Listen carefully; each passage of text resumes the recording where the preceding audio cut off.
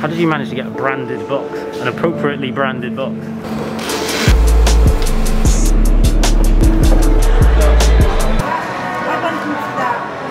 Got 370 for the week. Three, three euros 70 cents. Will that suffice?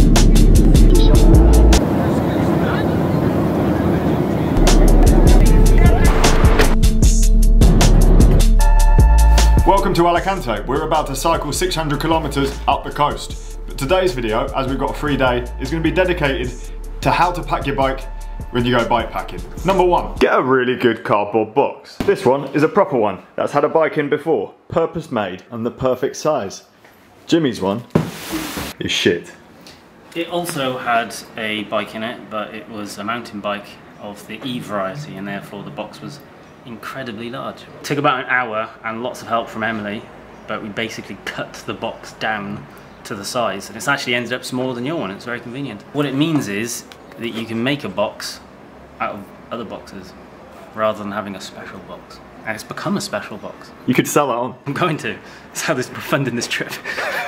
Two, get some bubble wrap and bubble wrap up your helmet, bike packing luggage, and anything else that you want to take with you that you're not going to take in your hand luggage. If you're good with this, usually you can get away with a small drawstring bag, or in my case, one of my panniers to take onto the plane. So you just got minimal valuables in a bag like that. Everything else could go inside your bike box, which has got a much higher weight limit. I think you're allowed up to 30 kilograms in the flight we just took. It's two actually. 32. So you can put loads of your stuff in there. Doing a nice thick layer of bubble wrap also means you can pad out the box and stop things from moving around as much when it's actually inside. Helmet's pretty robust and it just stops the box from collapsing in on itself if people get rough with it on the uh, runway. recycled from an order I bought. I bought something, can't remember what it was, came with these, kept it. These the first. Bonus tip here, if you have a proper purpose-made bike box, then it probably would have come with some bits of foam like this. These are fantastic for the reasons I mentioned before. You can use them to stop the box collapsing in on itself and you can put your wheel through these slots. But chances of having these and your purpose-made pipe lagging, fairly unlikely. So instead, pack all your clothes into a drawstring bag and use that for padding. It will be nice and soft and you can use that, which is about the width of a bike box, to uh, stop things from moving around. Place your bike in the box like this with the back wheel on shifted to your easiest gear and big ring on the front. That keeps the chain under tension and it's least likely to fall off and then move around and cause scratches and that kind of thing. Remove your seat post completely. You're gonna bubble wrap that and put that in as a separate item. Undo your top cap and your stem bolts. Take the stem completely off and tuck your handlebars into the frame and loop them around. I'll flash up on the screen what this looks like. You want to put some pipe lagging or a little bit of bubble wrap as protection just in between the bars and the frame, but I found this is the best and most secure location for them. In this case, I've also left my bar bag and food pouches on there as well, which again are squashed in between the frame and the bars. Make sure the front wheel is taken out. If you're using disc brakes, make sure you put something in between the caliper just in case your lever gets squeezed so the pads don't stick together. You can use something as simple as a clean plastic card or a piece of paper for this. I keep stuff that I might need on the other end like Di2 charger, set of Allen keys, my through axles, all inside the pouches of my bike luggage. So that's inside the box ready to go as soon as I open it up. I imagine most people won't want to be bike packing carrying around a tape measure. So a small piece of electrical tape at the top of your seat post to mark how high you have it is a very handy thing to do. Mine also has this uh, nice rubber thing. Pedals.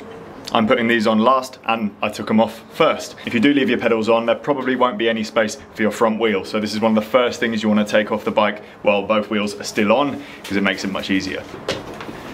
Ta-da! I personally think that using a box in this way to get a bike somewhere is better than using one of those soft bags.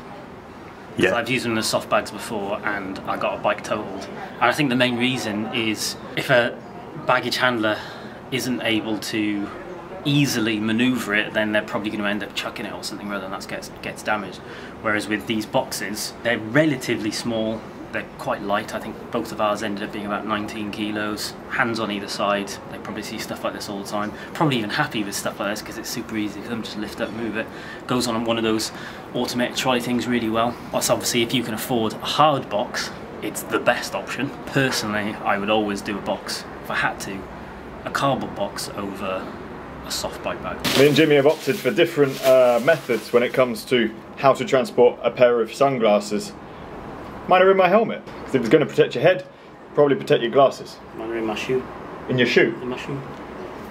My. So that's pretty much how I'd pack my bike. This does leave you with a small predicament of how to get rid of a giant cardboard bike box. We're in a hotel today and they've been very kind and they're going to be getting rid of the box for us. Sometimes though, that is quite hard to achieve because, well, it's just a bit of a weird request, especially if there's a language barrier. Like, oh yeah, we can hold, hold your luggage for you until tomorrow. We're like, No, we don't want it back.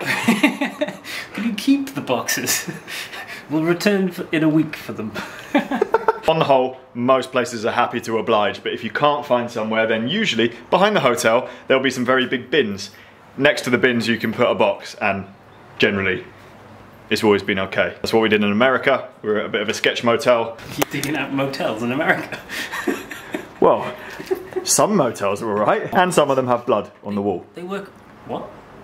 Whose blood is it? I don't know, we never found out. Was it fresh? Was it still wet? That concludes our tips for flying with your bike for bike packing. A sensible set of people would now go and test ride the bikes and make sure they're working. But one, can't be bothered. Two, if we do find out there's something wrong with our bikes, I mean, what's going to happen? We'll The- the- worry about it all well, night. that's it. The only option is you stress about it all night and then deal with it in the morning. Or what we can do is not stress Deal with it in the morning. now, find out in the morning, then deal with it in the morning. That's the best tip of them all. Train to Barcelona. I say that we have had a successful journey and now we should acquire some local food from the local fooderies Tapas. And we want big food. We have to order so much. and tapas.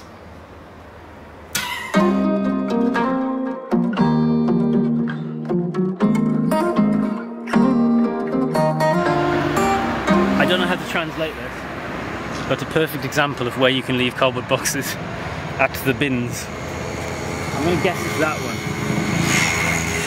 That one's glass. Or is Organico. Is that glass or is it no glass? I think it's no glass.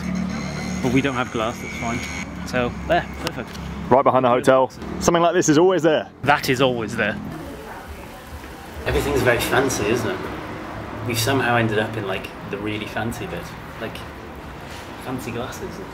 No, I just wasn't expecting it. There was a Lambo down there. We've eaten our body weight in pizza. My legs are feeling actually quite sore from pushing that cardboard box for what felt like about five miles through the airport. But I'm looking forward to tomorrow. Yeah, me too. Did you film the pizza? No, ah, Oh, mate. Mate. That was that was it was there. too big to film. I would have had to use a fisheye lens to get it. It was up there one of the best pizzas I think I've ever had. It was fantastic. Really good. So good. If you're ever in uh, Alicante, that is where we are, isn't it? Yes. Woodpecker Pizza. Check it out. Alicante. Thanks for watching. See you guys tomorrow.